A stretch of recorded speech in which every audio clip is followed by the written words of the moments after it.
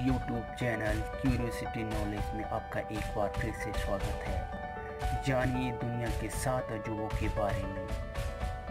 Learn about seven wonder of the world पहला, Chichen इतज़ा। जिचेन इतज़ा Mexico में बसा बहुत पुराना मंदिर है।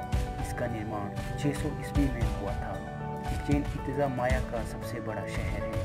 जिचेन इतज़ा का माया मंदिर पाँच किलोमीटर में फैला हुआ है। यह 79 फीट ऊँचा है, जो पत्थर से पिरामिड की आकृति का बना है। इस मंदिर में ऊपर जाने के लिए चारों दिशाओं से सीढ़ियाँ बनी है। दूसरा, क्राइस्ट रिडीमर। यह ब्राज़ील के ल्यू डी जेनेरो में स्थित है। दुनिया का इकलौता जीवते परमेश्वर यीशु मसीह की 38 मीटर लगभग 130 फीट ऊँची और 28 मीटर चौड़ी प्रतिमा दुनिया के अजूबों में से एक है। इससे ऊँची कोई भी प्रतिमा आज तक नहीं बनी है। इस मूर्ति का निर्माण 1922 में शुरू हुआ था, जो 12 अक्टूबर 1931 को इस जगह पर स्थापित किया गया था। यह मूर्ति पत्थर और कंक्रीट से बनी है, जिसे सिल्वा कोस्टा ने डिज़ाइन किया था।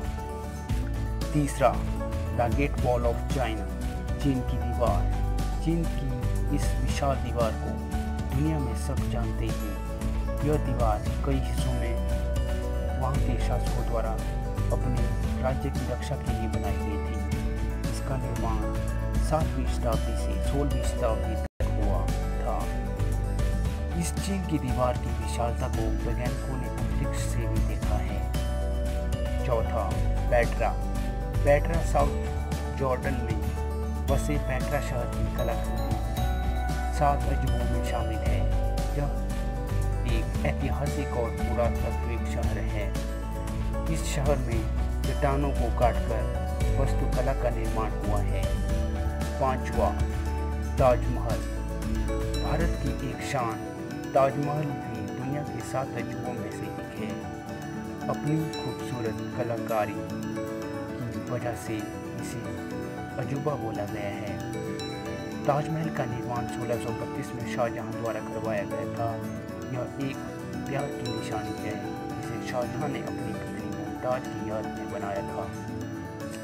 छठा रोमन का कोलोसियम। रोमन के इटली में बसा ये एक विशाल स्टेडियम है।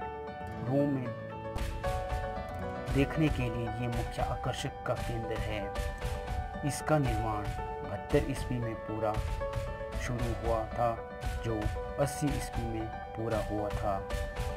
सातवा, माचू पिच्चू माचू पिच्चू दक्षिण अमेरिका के पेरू में स्थित। माचू पिच्चू एक ऊँची चोटी पर स्थित है।